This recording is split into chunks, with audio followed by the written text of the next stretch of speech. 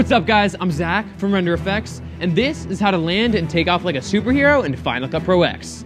Let's get started.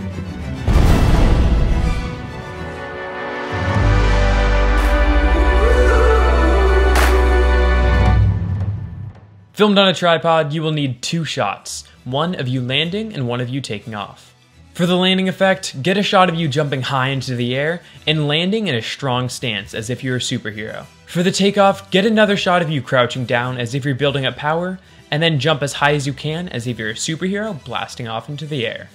You will also need a clean plate, or a blank shot, of your background. Make sure that you're filming with manual focus and exposure so that nothing changes between these shots. If you're filming on an iPhone, touch and hold the display to lock the exposure and focus. While filming, make sure to focus on your acting because good acting can help make an effect much more convincing. Now that you have all your shots, let's hop into Final Cut.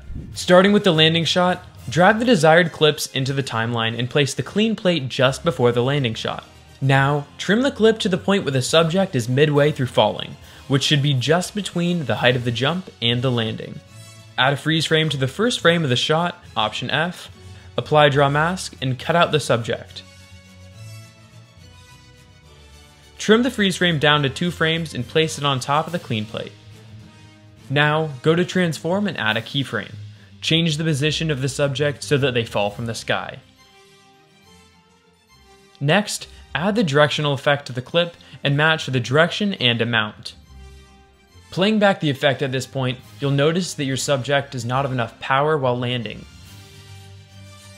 In order to fix this, you have to remember that speed equals power. Go to the point where your subject is fully landed, press Shift B to add a speed cut, and speed up the first part to 2 times speed. Now, trim the gray part of the speed bar to get rid of the speed ramp after the landing. This speed cut ensures that the subject lands as powerfully as possible, and make sure that the subject lands at a consistent speed. Now, go back to the point where the subject has fully landed, blade the clip, and then move 10 or so frames forward and blade the clip again. Add the earthquake effect to the newly bladed clip, add a keyframe to a mount and epicenter, and turn the amount up to 20. Now go to the last frame of the clip and change the amount to 0. Go frame by frame and move the epicenter randomly around to a different position each frame. For the landing sound effects, use explosion and wind sound effects and reverse them to make it sound like the subject is coming closer to the camera. Then, when they land, add impact and hit sound effects, along with a rumble, to make the landing sound super powerful. Now, moving on to editing the takeoff, start by doing a similar process.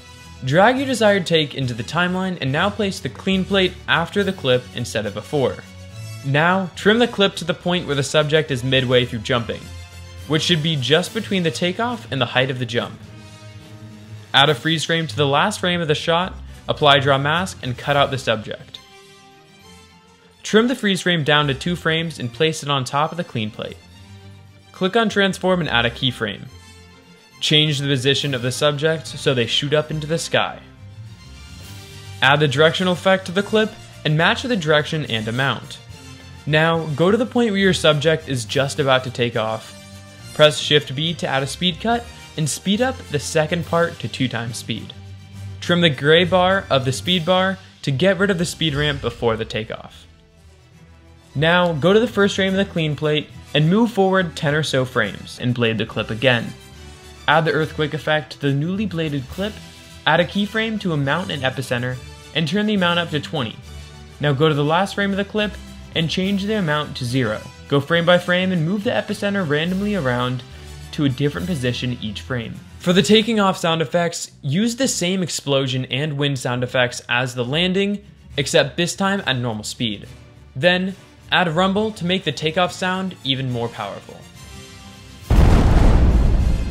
Thanks for watching, subscribe for more, and follow us on our Instagram to be a part of choosing our next video.